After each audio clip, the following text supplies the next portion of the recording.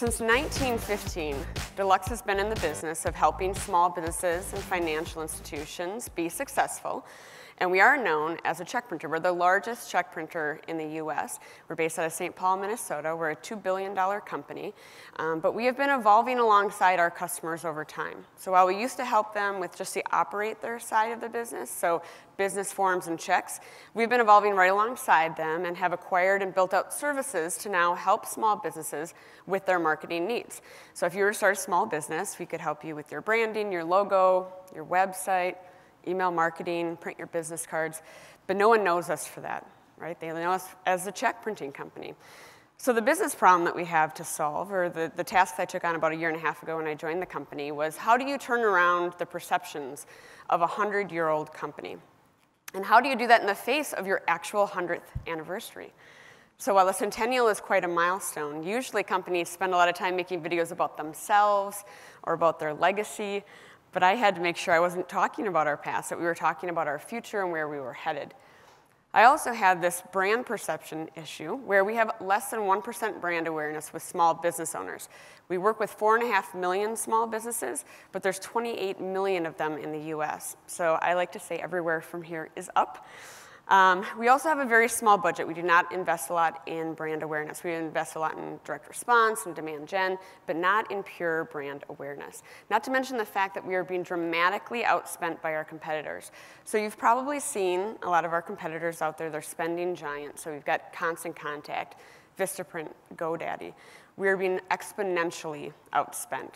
And so this isn't a problem unique to our brand, um, but it meant that we needed to do something different. I like to say we needed to be scrappy. All of our competitors are really busy selling our customers stuff. They're selling products and services, and it's a very noisy marketplace. And very few small business owners got into business for themselves because they can't wait to figure out how to do their social media um, marketing, or they can't wait to build their website, or they just really have their eye on a specific business card. Marketing feels like work to them. And so to just crowd the marketplace with more marketing about how the fact that we do marketing services for them just didn't feel like the right approach, especially in the face of being, again, dramatically outspent. So the strategy was if we have a very small paid media budget, and I mean small, how can we have a strategy to cut out a portion of that paid media and direct it towards content? And this isn't a strategy that would be new to those of you in this room, but it was certainly new to a 100-year-old company that is used to, again, demand gen and direct response, really, really measurable stuff.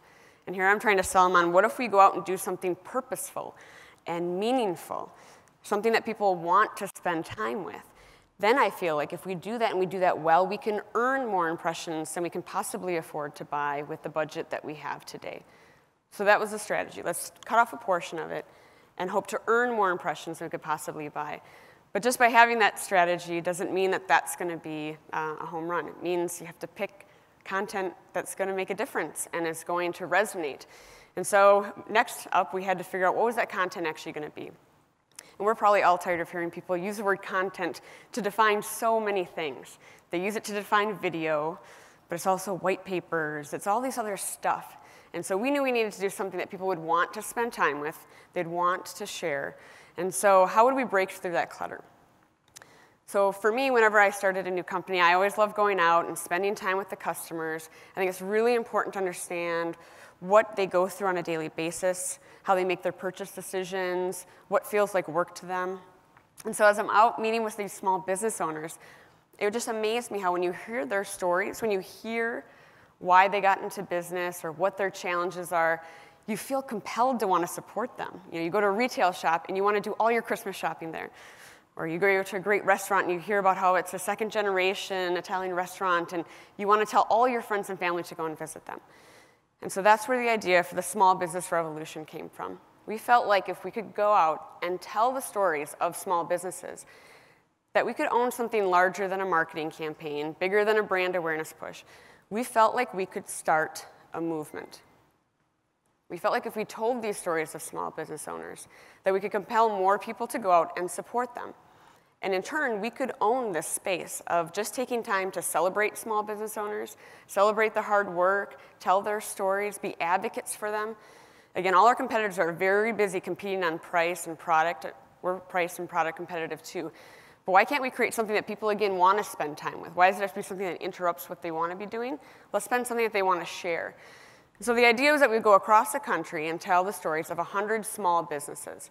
And we would do that through film and through photo essays, and we would bring these stories to life in order to, again, compel people to support them. And Deluxe could own the space of being the celebrators of small businesses.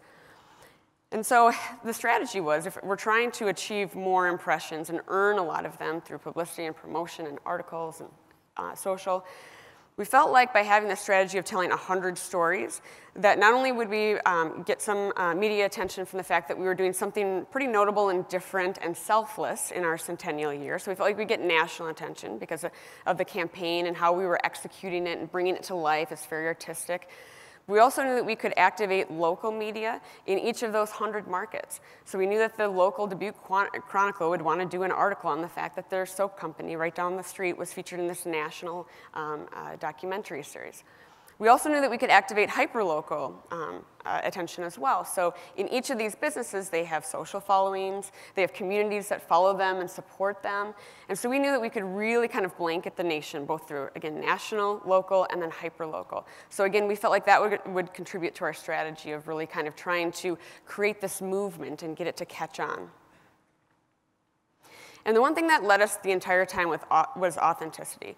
So you can say you're going to make videos, you can say you're going to go out there, but for us it was extremely important that this be incredibly authentic, it be very lightly branded, which was also very hard to sell, of course, and that the quality be very, very high. We wanted this to feel and to truly be a movement. And so authenticity was the one thing that led us the entire time. And I'll show you a couple of different clips throughout this presentation, but I want to show you one right now that's the trailer to give you a sense for kind of the, the quality of, of film. Small business is a revolution. You've got to put your all into your small business because it is you. It was all or nothing. I threw everything that I had into this barbershop, and it had to work. I was climbing the corporate ladder, but I had a dream of running a ranch. At my restaurants, people can come together. That makes me feel good about my job. This is the biggest thing I've ever done in my life. It's my legacy. See the original short film and photo series at smallbusinessrevolution.org. So again, it was really about bringing these stories to life. And again, you saw our logo on there, but it's at the very end. It's really about these small business owners. Again, we felt like we could really champion an actual movement rather than just making a campaign. So then we had to figure out how we kind of brought it to life. So one of the first decisions we had to make is where will this content live? And of course, we looked at Vimeo, we looked at YouTube, we looked at a variety of different options. Um, but at the end, we decided to um, create our own content platform. So it all lives on smallbusinessrevolution.org. And that decision was primarily driven by the fact that we really wanted the creative and the design of this to speak for itself. And that was the one experience where we could truly create that and we could um, create um, the color palette and the design and the user experience the way we wanted to for this particular movement. Again, when you see the website, it's, it's beautiful, it's artistic. This is where we house the photo essays and the mini docs. Um, and, uh, you know, it's, again, very, very lightly branded. At the top, you see Small Business Revolution championed by Deluxe. Um, but our logo doesn't appear until you get to the bottom nav. It was really about it being movement first. Even the word championed by Deluxe, the word championed was very, very thoughtful decision because we wanted it to be, it's not sponsored by, it's not brought to you by, it's not Deluxe's small business revolution, it's a small business revolution first. Then we had to figure out, you know, how do we interact in social? So we know that we, the way we would tell stories in Twitter versus Facebook versus Instagram would be different. But we also knew that we had to create separate handles for this actual movement, for the small business revolution. So we couldn't have it going through the at Deluxe Corp handles because we're doing other things there. We have other sorts of content, you know, five best email marketing subject line headers or five best logo tips, things that are our content and are valuable to our customers, but are different than stories storytelling. And so we needed to have our own place to roll out these stories, to engage, for it to almost have its own brand voice. One of the interesting things about when we were trying to decide on the platform and the social, et cetera, Lee mentioned before that we worked together on BMW. So when I was at Fallon, I had the honor of working on the BMW films, which really kind of created this category of branded content. And I remember I was tasked with having to find the video player that would allow us to play the videos. So we were creating these beautiful films shot by Hollywood directors. And our biggest fear was that people wouldn't even be able to watch them. People have to download a clunky player. Would they take the time to do that? Would they watch them? We weren't even talking about mobile. Mobile wasn't even, a, that wasn't even a thing. People didn't have smartphones. This is 12 years ago, so 13 years ago. So it's just funny how many options we have now today um, to be able to distribute and consume content, and it has just changed exponentially. So one of the other things is when we um, wanted to go out and shoot these films, for me it was extremely important that we find artists to bring this to life. So they couldn't be commercial directors or commercial photographers. We sought out to find uh, award-winning photojournalists who shoot for Nat Geo and, um, and documentarians that shoot documentaries, that know how to bring stories to life through film. Not pretend to bring them to life, but actually do it through documentaries. And so we found this really great company out of Austin, Texas called Flow Nonfiction, and they did a great job of applying that artistic filter. It was very interesting as a brand to be working with a documentary company because they're not an agency, right? They, didn't, they don't have call reports or they didn't really understand how to maybe do reporting back, but that was okay. The, it was more important to find artists than to find an agency that had done something similar before. So the rollout was that we um, rolled out one mini doc each month and then um, seven to eight photo essays.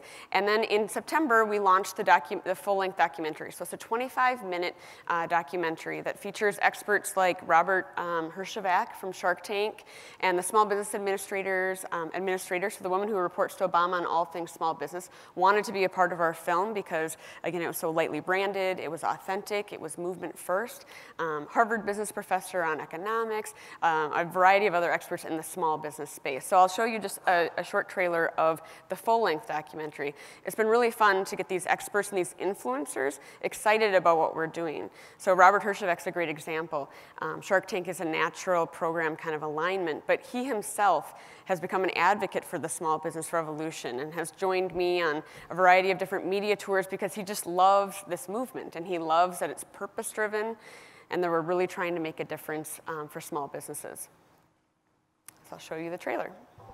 2008 was the eye of the hurricane. Large companies, 5,000 employees, 20,000 employees. We had one foot over the edge looking into the abyss. What's happened as a result of industrial capitalism is fewer and fewer companies are coming to dominate more and more of the economy. When you have a diminishing middle class with a few haves and many, many have-nots, you see tyranny. You see this social upheaval. In times of crisis, people go one of two ways. Either it becomes Lord of the Flies, or you rally around each other and support each other. Small businesses have the capacity to generate that kind of banding together. I do not think people really understand how big of an impact small businesses make on our nation's economy. They have always been the primary source of job creation in this country. And they're not hiring people abroad, they're hiring people in your neighborhood.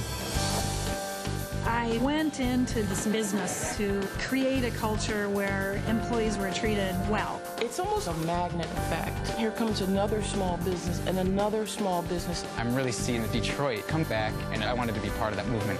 New Orleans, St. Louis, Detroit. Small businesses are bringing cities back to life. And guess what? There was no bailout for the small business. We had to rescue ourselves.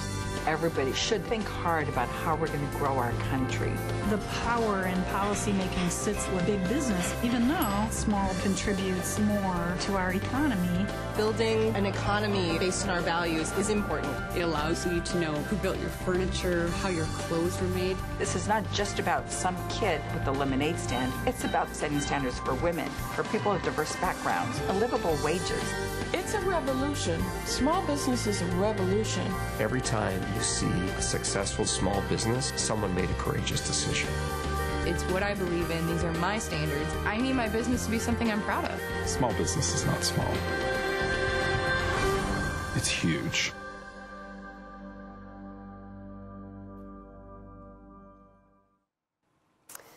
Um, so of course, we then layered on paid media. We had great partnerships with ABC, um, which allowed us to mirror that earned media strategy of having the national reach through um, Good Morning America and local through the local affiliates. So ABC was a great partner, great affiliations with Shark Tank. Um, and video became critical, right? So we had both photo essays and video, and so it's not surprising that in a number of um, the social platforms that we had better engagement, um, uh, more reach um, across both Facebook, um, Instagram, Twitter. We had more engagements, um, more interactions, and more uh, shares um, in all of those from a video perspective versus the photo essays. So the photo essays, again, were shot by photojournalists. They're beautiful. Um, we tell the stories. We do these profiles that accompany them. But people just love to interact with video. Um, and of course, this, this room knows that. Um, so I want to show you just one more sample. Um, so one thing that we really found was that uh, obviously channel and length matters. So the way we, again, rolled out the stories in Twitter was different than Facebook, and it's different than um, how we do it in Instagram. And we're still fine tuning that, and we're still learning about which posts get the highest engagement and what people like to contribute to from a conversation perspective. Um, but the one thing we found that people love these little snackable videos, right? They love these 10 second, 15 second, 30 second pieces. And so there's this great one where we um, featured a woman who um, owns a bowling alley in Minneapolis, and uh, she had the Coen brothers um, do their wrap party after they shot Fargo um, uh, at, her, at her place. And when we were interviewing her about her diner, um, she had this great little soundbite for us, and it performed very well in social. So we click play. They had the wrap party for Fargo at the Bryant Lake Bowl, and we did let the Coen brothers go back and look at the pin setters. So, anyways, the next movie they made was The Big Lebowski. I'm just saying. So that was just kind of a fun little example of how um, all these little pieces, I mean, this one was shared, this is one of our highest ranked uh, pieces. So if we go on to the next, I'm just gonna talk a little bit about overall results. Um, so, you know, we have found that social media has been um, a, a, great driver in the engagement and the adoption of this movement, which is not surprising um, to us at all. But even having completed the slides last week, all of these numbers are already um, out of date because it just keeps kind of exponentially starting over. We'll get, you know, it started out where we'd get 100 followers a day, and now it's 1,000. And so it's just, it's just um, continuing to kind of snowball, and we love the momentum. Facebook has obviously emerged as the, uh, the best story storytelling platform for this particular content series. Um, but we're excited to continue to reward these followers with more storytelling, and we have more continuations of the small business revolution. It's great that we've created this community um, in such a short amount of time. And so again, at the very beginning, I talked about the fact that the strategy was to not try and get incremental funding for content, but to actually repurpose paid media dollars into investing in these films. So if I look at that investment and the earned media that we've had and the articles that have been written and the impressions and the engagements, I would have had to spend 11 times what I invested in the films to reach as many people. And we, these are really clean engagements. We wanted our impressions to be an, a really, really accurate number. And so we have reached 11 times more people by investing in this than we would have if we would have spent that same amount of money on paid media. And so that's something that I can go back to the board with, and I can talk about the fact that we're reaching more people because we stopped and we did something that was purposeful and meaningful, and it's something that's making a difference in the small businesses that we're featuring. It's um, hopefully creating this movement of people recognizing the importance of supporting small businesses, um, and it's a space that we can own. Um, so in just the last 10 months, we've had um, over 1.4 billion impressions um, and a little bit over 490 news stories written. So if I would have just gone out with a traditional PR campaign um, to try and get stories written about the fact that we were turning 100 and we're a new company now, and you probably know us as this, but we're now this, I could have maybe gotten 10 media stories written. Um, but because we did something that people wanted to spend time with from a national and a local perspective, we've had almost 500 stories written about it, and we still have a couple months of the documentary series left. So we're very excited about the work, and for me as a marketer, the most, the benefit or, or the greatest learning lesson is that when you actually do something that matters, right? Eric talked about brand acts. It's a real thing. You can actually choose to execute work and do an idea that actually does make a difference, and not just something we tell our clients, but it can actually be purposeful and meaningful work. And I'm proud to be um, part of something that I really do consider um, to be the start of a movement uh, versus just another uh, brand awareness or marketing campaign. So thank you for your time. Thank you.